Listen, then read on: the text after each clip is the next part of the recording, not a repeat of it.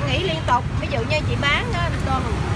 Cái chị là đi nghỉ nữa cái xong mấy chị bán một tuần cho nên là trong một tuần đó em không đi. Rồi sao em đi em lại không thấy chị chị biết không? Tuần luôn 10 ngày nghỉ bán 10 ngày nghỉ Ờ. Cái này người ta thích chị ăn lan quả ghê chỗ nào cũng phải chị ăn cái mẹ đó đó Người ta nói vậy thì giờ chợ chén đậu hũ nóng các bạn mấy năm rồi chị bán đây khoảng 33 năm 33 năm là ngay chỗ này. Ngay chỗ này không á. Còn hồi xưa mà đi gánh Gánh là vì bán khoảng ờ, gần 50 năm rồi. À 50 năm. Tại vì đi bán năm gì 14 tuổi năm nay gì 64 tuổi. Mà hồi đó gì đi bán dạo á con à, hồi đó chị bán ở à, à, đường năm Kiệt Thân Nghĩa chồng lấy chánh thắng hồi kia là yên đũa bây giờ lấy chánh thắng á con à. Dạ. À đừng có sao cái chân gì nó đau quá cái gì đi từ từ cái gì ngồi đi luôn thì bán đắt thì bán hết luôn mấy giờ gì ngồi ra bán gì à, 6 giờ 6 giờ kém thì chị đã có mặt ở đây rồi tại vì bán rồi đó con à nên người ta lấy Dạ. sớm người ta đi đó. Tại vì, à, vì bán sữa đậu nành có đường thì 5 ngàn chai còn không có đường là 3 ngàn một bịch vậy đó. Ủa gì? Rồi rồi gì bán mấy giờ giờ gì nghỉ gì Thì gần hết rồi nè con à, 9 10 giờ 10 giờ rưỡi. Là là hết sạch đó hả? con này cái nồi bự lắm á con cái nồi là trên 200 chén. Này à, đậu hũ là nấu từ bột gì à, đậu nành hả? Đậu nành nguyên chất không á con. Dạ ngày À, có gì nấu bao nhiêu à, ký vậy à, vì à, có cái là gì làm cái gì nó cũng nguyên chất cho nó có chất lượng gì bán đắt vậy thôi à à chứ cũng nhiều người bán lắm mà gì là gì bán đắt là nhờ cái vậy đó người ta ăn lâu năm người ta cái vệ sinh nó cũng bảo đảm là ăn cảm thấy không đau bụng đau dạ gì hết rồi là bán lâu năm á thì ăn rồi cảm nhận được cái gì nó cũng nguyên chất vậy đó con này gì bán Dạ. đắt ủa gì? Một phần đậu hũ là bao nhiêu tiền vậy? Cái hộp này là gì bán 8 ngàn này con.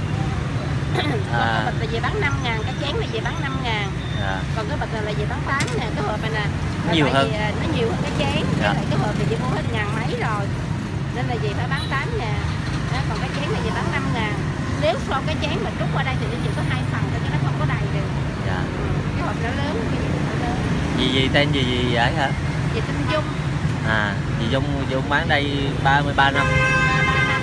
Hay gì là chị không có nhớ là bao nhiêu năm nhưng mà tại giờ hồi chị có đứa con trai mà sinh nó ra được một tuổi rồi đó chị ở quảng ngãi với khổ lắm à, chị để con nó nhà chị đi bán nên năm nay ra anh con là 34 ờ, hơn gần 35 tuổi rồi à à 34 tuổi hơn rồi nên là gì cái bóc xúc nó thì chị mới biết là bao nhiêu năm đúng rồi còn nếu mà chị không có đứa con trai chị cũng không nhớ là bao nhiêu con biết không tại chị có đứa con trai chị cũng nhớ là bao nhiêu năm vậy đó dạ ai hỏi vậy là chị nói ờ vậy bán ba ba năm ba ba hai năm rồi chị lấy cái bóc xúc đó chị đưa lên đúng rồi nhưng mà chị vẫn ở nhà mướn nha con nhà chị ở quảng ngãi ha dạ. À, con cái gì nó ở đây thì nó lại có đi làm nó có tiền nó mua nhà đó nhưng mà chị vẫn ở quảng ngãi. Chị chỉ thuê cái phòng nhỏ rồi chị đến đây chị nấu chị bán mình gì thôi.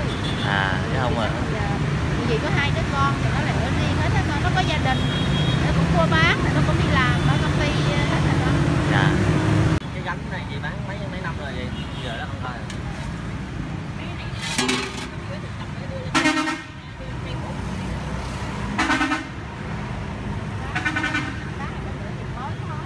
à, chị à, đường phèn với đường hút nốt không mà con đường này chị nấu hay sao thì gì à, bắt lên thì gì nấu thì nấu là gì cũng phải lọc bởi vì cái đường phèn của nó nó hay có đôi sợi chỉ á con ạ. Dạ nó có hay đường phèn nó hay làm có đôi sợi chỉ nó gì nấu thì cũng phải lọc quá con. Hút nốt như vậy thì nấu thì lọc thì cho con nên là cái đường nó cũng trong veo nó không có bị một cái gì hết. Nó, dạ. Nhưng mà con ăn nó ngọt thanh lắm. Nước dừa nước là gì? Mua về chị dắt chị tự dắt chị không đưa máy nó dắt dạ gì từ mua về dắt tự luôn mua về chị dắt chị làm cái dừa ý khách hơn chị không thích mà người ta dắt thôi nó nó thích cái máy mạnh quá chị không thích chị tự dắt chị lấy cái nước cốt thôi mà bây giờ nó À, đây là con đường Kinh Tiên Hoàng các bạn gần à, ngay chỗ giao lộ à, với đường Bùi Hữu Nghĩa phía bên kia ngoài kia là đường Điện Biên Phủ chúng ta đi vào à, đường Kinh Tiên Hoàng này khoảng à, 30 mét nhìn bên tay phải. Trước địa chỉ 126 Kinh Hoàng tôi thấy à, một cô bán đậu hũ rất là lâu năm. Đây. Cô bán hơn à, 30 năm rồi các bạn. Ở đây những đậu đồ cô tự làm từ nước dừa cho tới à, đậu hũ hay là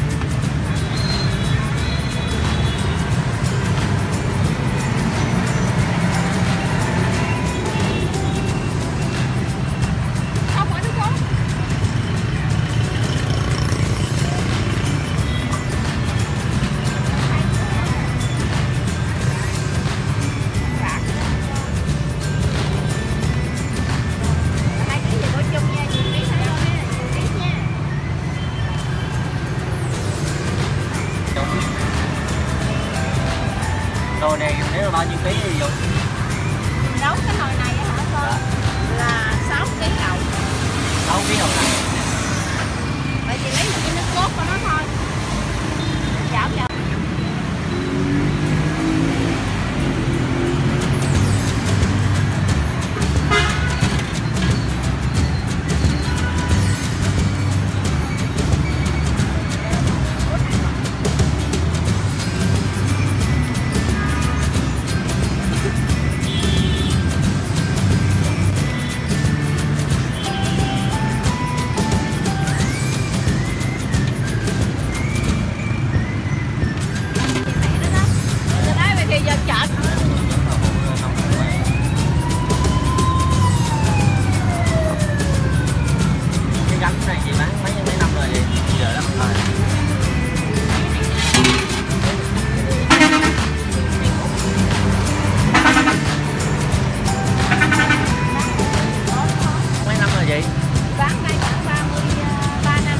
33 năm là ngay chỗ này. Đây chỗ này không á. Còn hồi xưa mà đi gánh là bán khoảng gần 50 năm rồi. 50 năm. Tại vì đi bán năm chị 14 tuổi là tại chị 64 rồi.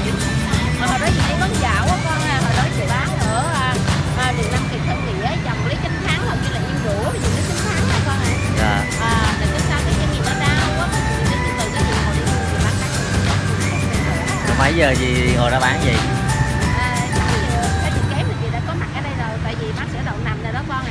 À lấy Dạ. sớm người ta đi đó tại vì, à, vì bác sữa đậu nằm có đường thì năm ngàn chai còn không có đường là ba ngàn một bịch vậy đó Ủa gì?